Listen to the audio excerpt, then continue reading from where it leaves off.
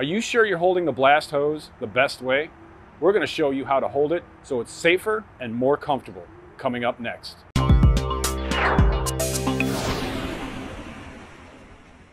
I've been taught many different ways how to blast and how to hold a blast hose. It goes from over the shoulder, like this. Some guys are taught underneath their arms like this. But the correct way, the more safer way, is to loop it between your legs and hold it into your chest like this.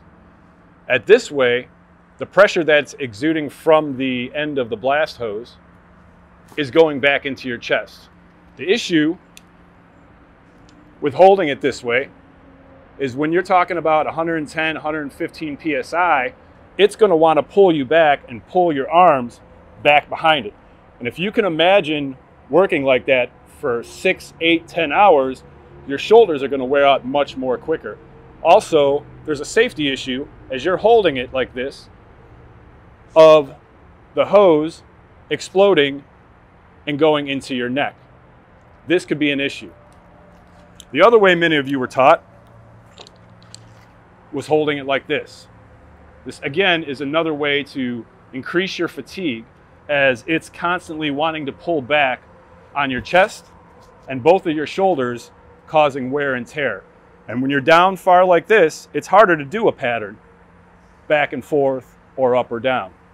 The other thing, holding it against your chest like this is also more productive. As the pressure is coming out of the end of the nozzle, the nozzle is going to want to keep going up anyway. So basically all you're doing is if you're doing a downward pattern is bringing it down or you're going left to right.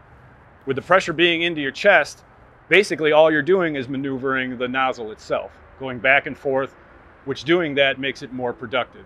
If you guys would like to see another video on blasting techniques, check the video out right here. Thanks for watching, and we'll see you next week.